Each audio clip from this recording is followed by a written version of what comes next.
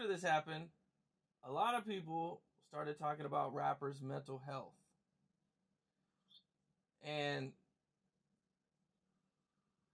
it's kind of like um it's kind of sometimes it's hard to admit, you know what I'm saying, you might need somebody to, you know what I'm saying, help you figure a lot of this stuff out. Did you see anything like that? Yeah, um, as far as the mental health situation goes, it, it just be the people that's surrounded by you. So if you got a lot of your homeboys around you and they just all care about women and every day they're like, man, we on some hoes, we on some hoes. Um, where the girls at? And everybody is not really on focus on money. That it's it's really just the people that's around you that will slow you down because your your mental starts become their mental. You got six people around you that only cares about women and nothing else. Then you you end up being like them even though you're successful.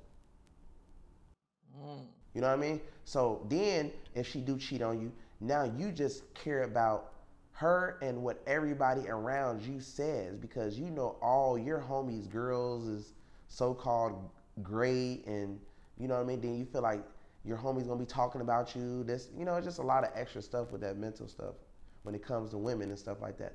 But as far as everything else, you know, drugs hold a lot of people back and mess up, you know, everything that's going on as far as with mental health. Um, but the main focus is just the people around you, bro. You know, you got to have a lot of people that can uplift you at all times, keep you focused, keep you focused on what's really the goal in life as far as getting to the bag and securing it and keeping it. You got to have some people to balance it out. Yes, sir. Some uh, some good people who are focused and you know what I'm saying and are themselves doing good in life. And, yeah. You know, not not just the whole person keeping the boat boat afloat. You need other people that are yeah. kind of at the top themselves, and maybe even not in music, maybe in other ways. Yeah, yeah, for sure. Yeah, man. So just anybody who's just trying to, um, you know, take their life to the next level as far as with credit or with just mentorships. You know, I got a site called kevofans.com. Just I talk about everything that's on there. Like people, a lot of people that's that be hitting me up be trying to get verified on Twitter or Instagram. It's a lot of different game that's on Kevo Fans. I'm also still number one I make millions of dollars on OnlyFans still because I, I sell credit cleaning letters.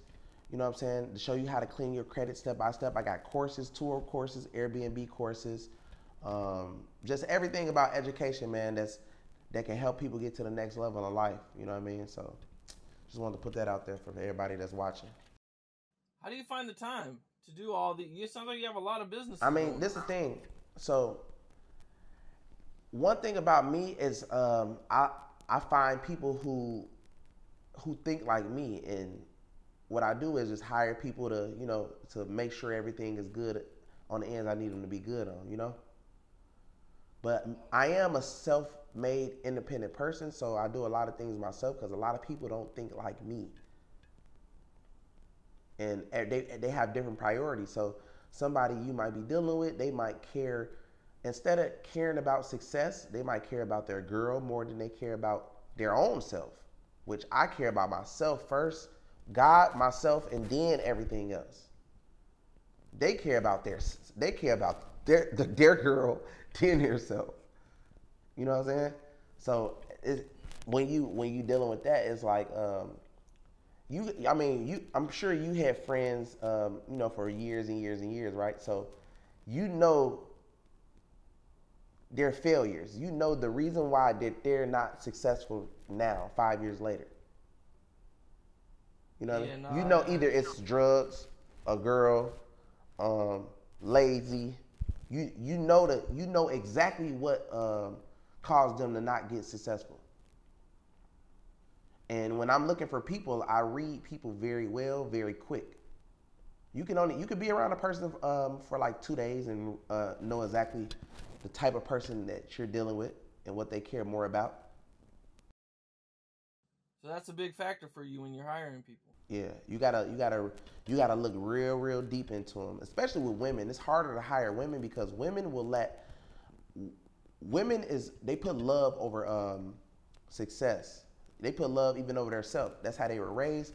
So they just really like let's say if they working with you, but you they'll go missing for two three weeks all for like a, a boyfriend situation. You know what I'm saying? Yeah. So, you would be like, damn, what happened to Becky? You know what I'm saying? And she is just, oh, I'm having problems with my guy and all this. You know what I'm saying? So, Is there any books you would recommend? any the the number one book I would recommend everybody who's watching this video right now is to read Rich Dad Poor Dad by Robert.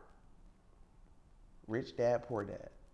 Bro, that is that is the same shit I say. That's my favorite book, bro. I read, and then once you read that one book, he has like seven, eight more books. If you read them, your whole mindset on your mind will change. Like everything about how you thought is going to change once you read that book. Like that's that was one of the best books I read in my life, bro. No, real shit, man. Um, that, that that's crazy. That's crazy that you said that because I was just telling somebody else that same exact. You know what I'm saying? Like this book will Man, exactly what you said. It'll I change how you couldn't I couldn't world. even believe it when I read it. I was like, what? Like then I say, man, you right. Like it's all the mindset because people are really like that. Like the poor dad, really, like that was like my family coming up. So I was just like, damn, that's how my family tried to tell me. And then I, I didn't have no like the rich dad mentality trying to tell me. Like I'm the rich dad mentality on my family now. It's crazy. So Yeah, that's a Yeah, great for book. sure, man. Well, man, I appreciate you. Yes, sir. Appreciate everything, Brody. Yeah, man. Dope interview, man. You know, uh, you know, a lot of knowledge you you know what I'm saying you put out there Yeah. for the fans and everything, especially um with the police and everything like that. Yeah, know hell yeah. I, I appreciate you, man. Yes, sir. Same. All right, bro. All right, bro. Peace.